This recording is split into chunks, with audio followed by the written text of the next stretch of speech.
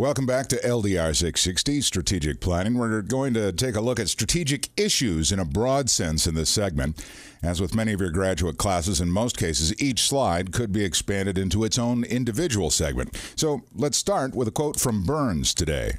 Pulitzer Prize winner, historian, political scientist, and leadership authority James MacGregor Burns' transformational leadership theory appeals to the high road in developing social issues and individual purpose. His 1978 work, published by Harper and Row, is a classic and an excellent read from which we get this direct quote. The two essentials of power are motive and resource. The two are interrelated. Lacking motive, aspirations, or goals, resource diminishes. Lacking resources, motives idle. Lacking either one, power collapses. Of course, transformational leadership theory has been expanded considerably since 1978, Bass and Avolio in particular, in the multi-factor leadership questionnaire. When analyzing history, the current environments in which our organizations operate, and envisioning a future, those are three distinct activities, we must have a clear understanding of a firm's resources. Although you might not know it from how many American businesses in particular operate, the single most important resource in every organization is the people. The resource based view, or RBV, is an important theoretical underpinning, at least implicitly, of the most widely used public strategic management models. But most public strategic management models don't show how key resources should link directly to achieving organizational goals or aspirations. That is, they don't show how to create a livelihood scheme. Bryson uses the term livelihood scheme, which is simply another variation of a business model to show how the organization operates. Resource C in the book outlines how to develop a livelihood scheme. Critical success factors are the actions an organization must do, criteria they must meet, or performance levels that must be achieved to meet stakeholder needs. In a simpler sense, resources are all of the inputs needed to produce the outcome. In a broader sense, it goes beyond time, talent, and treasure and must include things like physical structures, organizational design, and the processes. You should understand competencies, the abilities to perform actions and processes the organization can manage, which lead to the desired outcomes. Distinctive competencies lead to competitive advantage. And particularly in a knowledge society, it's why people are the most important resource in the organization. In developing a strategic plan, understanding the core competency of the organization is required in meeting objectives. Core distinctive competency helps add value over competitors. Threshold competencies are skill sets that must be present for organizational survival, such as accounting, financial management, human resources, and IT, though depending on the size of the organization, many of those competencies are outsourced these days. As with anything, a good graphic is better than pages of text, and this one comes directly from Bryson. By undertaking this kind of organizational review, we have a better chance of creating a strategic plan and managing strategically to achieve our stated objectives. Additionally, we find areas of expertise that we're missing and that we need to develop to be relevant as an organization in the not too distant future. Strategic issues are the fundamental policy choices or challenges facing the organization. They arise on the organization's boundaries with its environment. They are something the organization can do something about. We don't care about things we can't change. Although it may not be easy, they are typically boundary crossing, resource intensive, absolutely politically loaded, irreversible, and highly consequential. Organizational culture is the glue that holds inputs, processes, and outputs together, affecting how strategic issues are framed and placed on the agenda and how we address them as an organization. My personal experience with many nonprofit organizations is that they consider their primary stakeholder to be the clients whom they serve. In reality, the most important client for any nonprofit organization is the one who provides the funding. Actually, for any organization. So, uh, in a nonprofit, that would be the donors, because without their funding, the organization ceases to exist. In a for profit world, it's the customers who purchase the products and services. And in a global economy, regardless of market size, very few organizations are the sole provider of a product or service, as we have many more competitors a buyer can choose from. So, when we're looking at strategic focus, we need to address the need for change. We need to create a process to develop mission, vision, and values into daily practice. We need to produce programs, products, and services, control strategy delivery in the present, develop future capabilities, and maintain and build stakeholder, again, stakeholder, not stockholder, relations. From the work by Bryson, as we arrive at an overarching organizational strategy, there must be subunit strategies below for each department or unit, which then leads to programs, products, or services offered into the marketplace, and the internal function strategies which enable the organization to operate. We've talked about this previously, but depending on the model you're using, there are varying terms in strategic planning that describe essentially the same thing. So you have to make sure that within your team, everyone holds the same meanings, whether you're discussing goals goals, strategies, objectives, tactics, action plans, or any variety of strategic planning terms. From both week one in class and from your discussion threads on various strategic planning models, you should have come to understand that there are many terms used by different experts and in different models. Clarifying what these terms mean to you, and more importantly to those you're working with, is key to being on the same page. This version is a combination of Hoshin Kanri and Balanced Scorecard. As Bryson discusses, strategies are not tactics. Tactics are short term adaptive actions and reactions used to accomplish limited objectives. Strategies provide a continuing basis for ordering the adaptations to more broadly conceived purposes. We at the top have an overarching goal breakthrough focus. It's very important to the organization's vision. We have a key strategy that will help us achieve the goal, initiatives that are tied to the strategies below the goal, and then we have tactics and direct actions Creating a strategic plan without putting measurements in place is a complete waste of time. Within the overriding goal, there must be a measure of success. If we choose too many strategies which lead us towards that goal, we won't be able to focus enough on any one objective and something will fall through the cracks, leading to disappointment and failure. We've previously talked about setting up small wins, places that accomplishment can be celebrated. Bryson will tell you at some place you may have to choose to just go for the big win. So, as we move strategies into the tactical or actions level, we need to set targets that can be measured. Otherwise, how do we know when we've arrived? How we bring the team and eventually the entire organization together is through the discussion and communication of issues and ideas that reach to the heart of each participant in some way.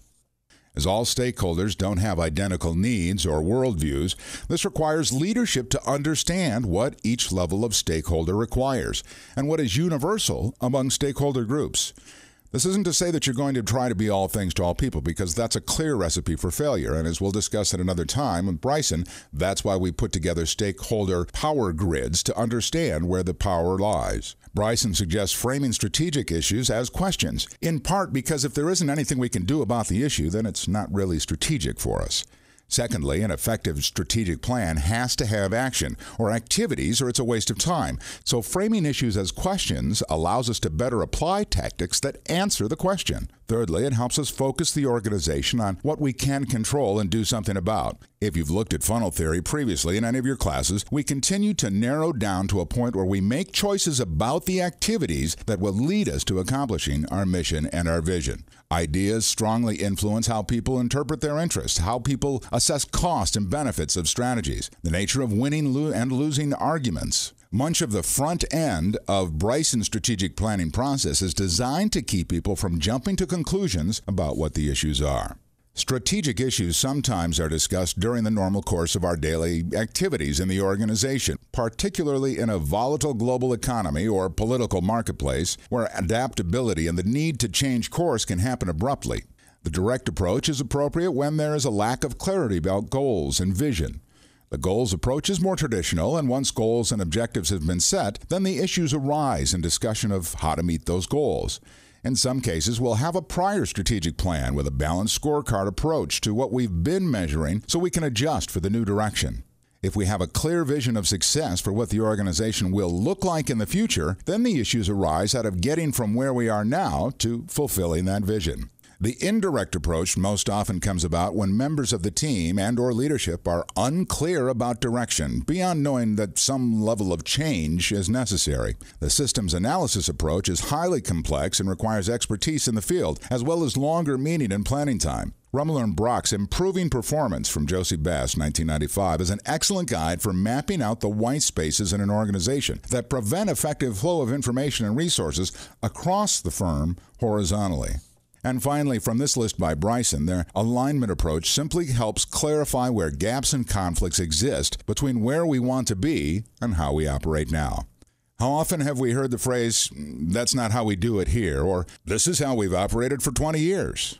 That's why the old rule, if it ain't broke, don't fix it, is a crutch that inhibits organizational change and growth. More appropriately, as multiple researchers have shown, break all the rules, as in the book subtitle from the 12 Rules of Management by Gallup, which we've discussed in previous classes. Tensions arise out of preservation of traditions, innovation and change, and change is constant and all around us. Human resources, and especially equity concerns, productivity improvements, any issue should be tested against the different tensions separately and in combination in order to find the best way to frame the issue. Depending on the size of the organization and the number of participants on the planning team, you're bound to have some conflict in these discussions. But if you remember again our previous discussions from Heifetz and Bryson, constructive conflict is absolutely necessary for organizational growth and relationship development among team members. We want to clarify related strengths and distinctive competencies. Articulate related weaknesses. Be clear about the opportunities and understand the challenges or threats involved. Explore the links to mission and mandates if we have them, and understand the consequences of not addressing these issues. The appreciative inquiry approach to organizational change, developed by David Cooperrider, advises focusing on what's working within the organization, as opposed to many organizational change strategies that focus on what's not working. Bryson's advising us to create effective strategies that build on strengths, especially the distinctive competencies that set us apart from our competitors, that take advantage of opportunities, that minimize or overcome our weaknesses, challenges, and threats, that further our mission, meet whatever mandates we have, and most importantly, create public value. If we're not creating value for our customers, our community, our stakeholders, what's the point? Whatever issues the organization faces are in some ways related to each other. This issue Mac ties back to the PennDOT case study we looked at in week one. Analyzing the issues in this way, just laying them out in a grid, will help you understand which issues are crucial. It will also help you figure out where to start and begin to develop effective strategies for the organization. Building our strategies off of our competencies and distinctive competencies builds value creation through our actions towards achieving our mission. Again, our competencies and distinctive competencies help lead to our actions, which support our strategies, reaching our goals to fulfill our mission. And again, from the Department of Why, as Daniel Pink would say, determining the purpose and continually asking, why are we doing this? Why would we do that?